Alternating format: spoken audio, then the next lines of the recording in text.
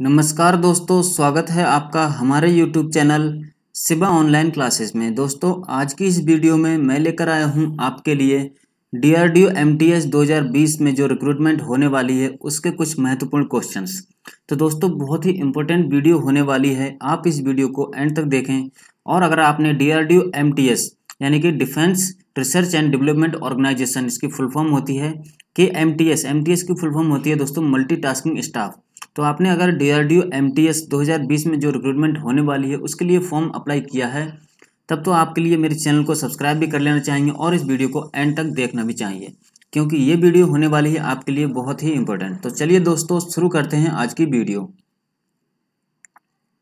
First question है हमारा question number one Arjun पुरस्कार से सम्मानित सुनीता चंद्रा का हाल ही में निधन हो गया। वे किस खेल से जुड़ी हुई थी?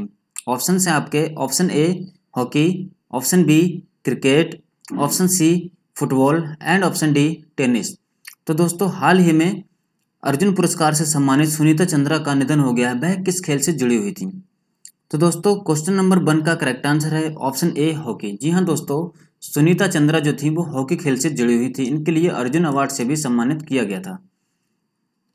तो जान लेते हैं इनके बारे में कुछ डिटेल में। दोस्तों, यहाँ पर मध्य प्रदेश का नाम आया है तो मध्य प्रदेश के दोस्तों मुख्यमंत्री का नाम है कमलनाथ और राजधानी है मध्य प्रदेश की भोपाल में मध्य प्रदेश की सीमाएँ पाँच राज्यों की सीमाओं से मिलती हैं उत्तर में उत्तर प्रदेश से मिलती हैं पूर्व में छत्तीसगढ़ से दक्षिण में महाराष्ट्र से पश्चिम में गुजरात से तथा उस उत्तर पश्चिम में राजस्थान से तो ये पाँच जो स्टेट हैं इनसे मध्य प्रदेश की सीमाएँ मिलती हैं मध्य प्रदेश में टोटल दोस्तों बावन ज़िले हैं फिफ्टी टू और मध्य प्रदेश के राज्यपाल का नाम है दोस्तों लालजी टंडन। तो मुख्यमंत्री का नाम हो गया कमलनाथ, राजधानी भोपाल, टोटल बावन ज़िले हैं मध्य प्रदेश में और यहाँ के राज्यपाल का नाम है लालजी टंडन। तो नेक्स्ट क्वेश्चन की तरफ़ चलते हैं। नेक्स्ट क्वेश्चन है हमारा, क्वेश्चन नंबर टू, नागरिकता कानून के खिलाफ प्रस्ताव पास करने वाला चौथा राज्य निम्न में से कौन सा बना? ऑप्शन हैं आपके, option A, Paschim Bangal, option B, Tamil Nadu, option C, Bihar, and option D Kerala. तो दोस्तों क्वेश्चन नंबर टू का करेक्ट आंसर है आपका ऑप्शन ए पश्चिम बंगाल। जी हाँ दोस्तों, पश्चिम बंगाल ने भी नागरिकता कानून के खिलाफ प्रस्ताव पास करने वाला चौथा राज्य बन गया मतलब पश्चिम बंगाल ने नागरिकता कानून के खिलाफ में जो है प्रस्ताव पारित किया है। तो अभी पश्चिम बंगाल के बारे में दोस्तों कुछ डिटेल में जान लेते हैं। पश्चिम बंगाल के मुख्यमंत्री का नाम है ममता बनर्जी, राज्यपाल का नाम है दोस्तों जगदीप धनगढ़ राजधानी है पश्चिम बंगाल की कोलकाता में। पश्चिम बंगाल के उत्तर में सिक्किम, उत्तर पूर्व में असम पूर्व में बांग्लादेश, दक्षिण में बंगाल की खाड़ी तथा उड़ीसा तथा पश्चिम में बिहार तथा झारखंड स्थित हैं। नेक्स्ट क्वेश्चन कर लेते हैं दोस्तों। नेक्स्ट क्वेश्चन से पहले मैं आपको इसी के बारे में कुछ और डिटेल में बताना चाहूँगा दोस्तों। तो यह प्रस्ताव पश्चिम बंगाल के संसदीय कार्य मंत्री पार्थ चटर्जी ने सदन में पेश किया था। इससे पहले केरल, पंजाब, राजस्थान में इस कानून के खिलाफ प्रस्ताव लाया जा चुका है। तो पश्चिम बंगाल ये प्रस्ताव पारित करने वाला देश का चौथा राज्य बन गया है। इससे पहले केरल, पंजाब, राजस्थान में यह कानून प्रस्ताव में लाया जा चुका है। तो दोस्तों, जितने भी ये तीनों स्टेट हैं, तीनों स्टेट में कांग्रेस की सरकार है और पश्चिम बंगाल में ममता बनर्जी की। तो ये तीन स्टेट, ये इंक्लूडिंग पश्चिम बंगाल, इन चारों स्टेट में ये प्रस्ताव लाया जा चुका है। पश्चिम बंगाल विधानसभा ने 6 सितंबर 2019 को एनआरसी के खिलाफ एक प्रस्ताव पारित किया था। नागरिकता संशोधन कानून सीएए में अफ़गानिस्तान, बांग्लादेश, पाकिस्तान से धार्मिक प्रताड़ना के कारण भारत आए। गैर मुस्लिम समुदायों, हिंदू, सिख, बौद्ध, जैन, पारसी तथा ईसाई समुदायों को लोगों को भारतीय नागरिकता देने का प्रावधान किया गया है। तो दोस्तों, जो अफ़गानिस्तान से, बांग्लादेश से, पाकिस्तान से धार्मिक प्रताड़ना के कारण भारत जो लोग आ गए हैं, उनके लिए वो चाहे किसी भी समुदाय के सही, मुस्लिम हो वो, हिंदू हो, बौद्ध हो, सिख हो, जैन, पारसी तथा ईसाई, वो किसी के समुदाय के लोग हैं। अगर वो भारत आए हैं तो उनके लिए इस कानून में नागरिकता देने का प्रस्ताव प्रावधान किया गया है। नेक्स्ट क्वेश्चन कर लेते हैं दोस्तों। नेक्स्ट क्वेश्चन है हमारा। Question number three, Madhya Pradesh के बाएँ हाथ के किस किस तेज गेंदबाज फ़र्स्ट क्लास में डेब्यू पर पहले ओवर में हैट्रिक लेने वाले इतिहास में पहले क्रिकेटर बन गए हैं। तो दोस्तों, मध्य प्रदेश के एक बाएँ हाथ के गेंदबाज हैं, जिन्होंने अपने डेब्यू मैच के पहले ही ओवर में हैट्रिक लेने वाले ये इतिहास में पहले क्रिकेटर बन गए हैं। तो ऑप्शन हैं आपके, option A, Sameer Rizvi, Ankit Rajput, R N Joel और रवि यादव। तो क्वेश्चन नंबर थ्री का करेक्ट आंसर है ऑप्शन डी, रवि यादव। जी हाँ दोस्तों, रवि यादव ने अपने पहले ही डेब्यू मैच में पहले ही ओवर में हैट्रिक लेकर ये क्रिकेट के इतिहास में पहले खिलाड़ी बन गए हैं, जिन्होंने अपने पहले ही मैच के पहले ही ओवर में और हैट्रिक ली हो। तो दोस्तों, रवि यादव के बारे में कुछ डिटेल में जान लेते हैं। रवि यादव ने उत्तर प्रदेश के आर्यन, जुअल, अंकित, राजपूत और समीर रिजवी के विकेट लेकर यह उपाधि हासिल की है। तो रवि यादव ने दोस्तों, उत्तर प्रदेश के आर्यन, जुअल, अंकित, राजपूत और समीर रिजवी के विकेट लेकर यह उपाधि, उपलब्धि हासिल की है। पदार्पण मैच में, यानी कि डेब्यू मैच में भारत में दो गेंदबाजों, जवागल श्रीनाथ कर्नाटक से थे और जो, जोगंदर राव ने हैट्रिक ली है। लेकिन वे भी पहले ही ओवर में ऐसा कमाल नहीं कर सके थे। बीसीसीआई के दोस्तों, यहाँ पर बात हुई है तो बीसीसीआई के अध्यक्ष हैं सौरभ गांगुली।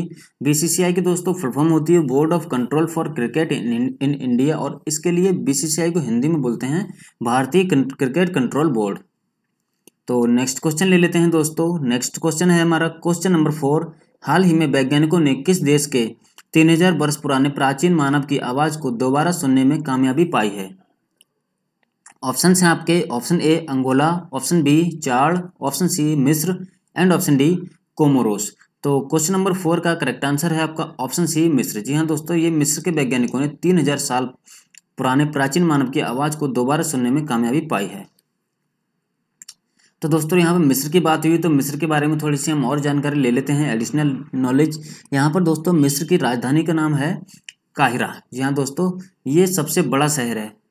मतलब मिस्र की राजधानी है काहिरा। काहिरा मिस्र का सबसे बड़ा नगर है। राष्ट्रपति यहाँ के अवेल फतेह अल सीसी प्रधानमंत्री का नाम है मुस्तफ़ा मदबौली और नील नदी के किनारे बसा काहिरा अफ्रीका महाद्वीप का सबसे बड़ा नगर है। मतलब ये जो काहिरा है, जो मिस्र की राजधानी ये नील नदी के किनारे बसा हुआ है और अफ्रीका महाद्वीप का सबसे बड़ा नगर है।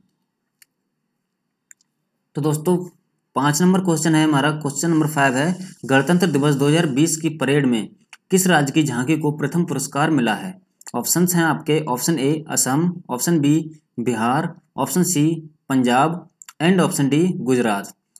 तो दोस्तों, क्वेश्चन नंबर फाइव का करेक्ट आंसर है आपका ऑप्शन ए आसाम जी हाँ दोस्तों, गणतंत्र दिवस 2020 की जो 26 जनवरी को राजपथ दिल्ली में जो परेड हुई थी, उसमें सभी राज्यों की झांकियाँ आई हुई थी। तो जिन जिन राज्यों की यहाँ पर झांकियाँ आई हुई थी, उनमें से एक फ़र्स्ट पुरस्कार आसाम के राज्य के लिए, आसाम राज्य की झांकी के लिए मिला है। तो जान लेते हैं इसके बारे में कुछ डिटेल में। रक्षा मंत्री राजनाथ सिंह मतलब हमारे रक्षा मंत्री कौन दोस्तों? राजनाथ सिंह। तो रक्षा मंत्री राजनाथ सिंह ने विशेष शिल्प कौशल और संस्कृति विषय पर आधारित असम की झांकी को सर्वश्रेष्ठ झांकी का पुरस्कार दिया। ओडिशा और उत्तर प्रदेश की झांकी को संयुक्त रूप से दूसरा पुरस्कार दिया गया। ओडिशा की झांकी में भुवनेश्वर स्थित छठी सदी का भगवान लिंगराज का मंदिर प्रदर्शित किया गया था। असम के उत्तर में तो दोस्तों यहाँ पर असम की बात हुई। अगर असम यहाँ पर फ़र्स्ट आया है तो असम के बारे में कुछ जान लेते हैं। असम के उत्तर में अरुणाचल प्रदेश पूर्व में नागालैंड तथा मणिपुर और दक्षिण में मिजोरम तथा मेघालय एवं पश्चिम में बांग्लादेश स्थित है। असम की राजधानी है दोस्तों दिसपुर सबसे बड़ा शहर है, असम का गुवाहाटी। असम का गठन हुआ था दोस्तों 26 जनवरी 1960 के लिए और असम के राज्यपाल का नाम है जगदीश मुखी और असम के मुख्यमंत्री का नाम है सर्वानंद सोनोवाल, जो कि भाजपा से हैं। तो नेक्स्ट क्वेश्चन की तरफ़ चलने से पहले दोस्तों मैं आपसे रिक्वेस्ट करना चाहूँगा कि अगर आपने अभी तक इस वीडियो को लाइक नहीं किया है तो वीडियो को लाइक कर दें और हमारे चैनल पर अगर नए हैं चैनल को सब्सक्राइब अभी तक नहीं किया है तो चैनल को सब्सक्राइब कर लें और बेल आइकन को प्रेस ज़रूर कर लें, जिससे आने वाली वीडियो की नोटिफिकेशन आप तक पहुँचते रहे सबसे पहले।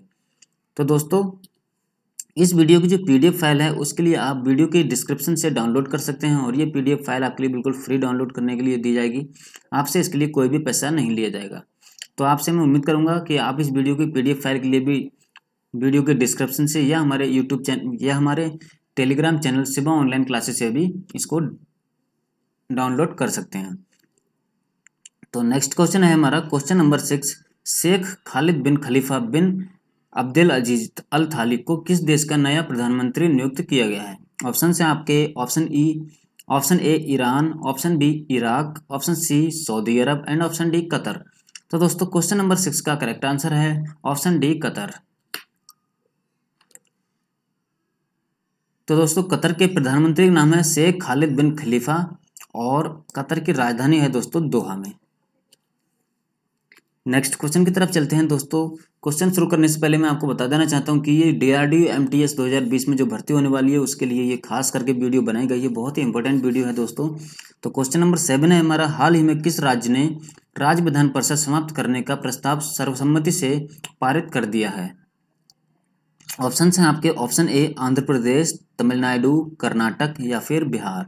तो क्वेश्चन नंबर सेवन का करेक्ट आंसर है ऑप्शन ए, आंध्र प्रदेश। जी हाँ दोस्तों, आंध्र प्रदेश सरकार ने सर्वसम्मति से विधान परिषद, राज्य विधान परिषद समाप्त करने का आदेश पारित कर दिया है। तो नेक्स्ट क्वेश्चन की तरफ़ चलते हैं। नेक्स्ट क्वेश्चन है हमारा। क्वेश्चन नंबर एट, किस विश्वविद्यालय ने हाल ही में आयोजित वर्ष दीक्षांत समारोह में नोबेल पुरस्कार विजेता अभिजीत अभिजीत विनायक बनर्जी को डी लिस्ट की डी लिट की मानव उपाधि से प्रदान मानववादी उपाधि प्रदान की है। ऑप्शन हैं आपके, ऑप्शन ए, नालंदा विश्वविद्यालय, ऑप्शन बी, इलाहाबाद विश्वविद्यालय, ऑप्शन सी, कलकत्ता विश्वविद्यालय, एंड ऑप्शन डी, दिल्ली विश्वविद्यालय। तो क्वेश्चन नंबर एट का करेक्ट आंसर है, ऑप्शन सी, कलकत्ता विश्वविद्यालय। जी हाँ दोस्तों, अभी हाल ही में अभिजीत विनायक के लिए, अभिजीत विनायक बनर्जी को डी लिट की उपाधि से सम्मानित किया गया है, क्योंकि इन्हें हाल ही में अभी नोबेल पुरस्कार से सम्मानित किया गया था। तो नेक्स्ट क्वेश्चन है हमारा क्वेश्चन नंबर नाइन तीसरे वैश्विक आलू सम्मेलन का आयोजन हाल ही में किस राज्य में किया जा रहा है? तीसरे वैश्विक आलू सम्मेलन का आयोजन हाल ही में किस राज्य में किया जा रहा है? ऑप्शन है आपके option A Bihar option B Punjab option C Haryana and option D Gujarat. तो क्वेश्चन नंबर नाइन का करेक्ट आंसर है आपका option D Gujarat. Next question ले लेते हैं। नेक्स्ट क्वेश्चन है हमारा क्वेश्चन नंबर टेन वरिष्ठ राजनयिक तरनजीत सिंह संधु को किस देश में भारत का राजदूत नियुक्त किया गया है? ऑप्शन हैं आपके option A America option B रूस option C Nepal and option D है दोस्तों आपका चीन। तो वरिष्ठ राजनयिक तरनजीत सिंह संधु को किस देश का राजदूत नियुक्त किया गया है। तो क्वेश्चन नंबर टेन का करेक्ट आंसर है ऑप्शन ए अमेरिका। जी हाँ दोस्तों, इनके लिए अमेरिका का राजदूत नियुक्त किया गया है। तो ये थे हमारे आज के दस क्वेश्चन वीडियो कैसी लगी आपको, वीडियो कमेंट करके ज़रूर बताइएगा। और अगर वीडियो पसंद आए तो वीडियो को लाइक करके कमेंट ज़रूर करें और वीडियो को ज़्यादा से ज़्यादा शेयर करें। तो दोस्तों, अगर आपने हमारे चैनल को सब्सक्राइब नहीं किया है तो चैनल को सब्सक्राइब कर लें और बेल आइकन को प्रेस कर लें, जिससे आने वाली वीडियो की नोटिफिकेशन आप तक पहुँचती रहे सबसे पहले। तो चलिए दोस्तों थैंक यू फॉर वॉचिंग कल फिर मिलते हैं एक नई वीडियो के साथ में। तब तक के लिए नमस्कार। जय हिंद, जय भारत।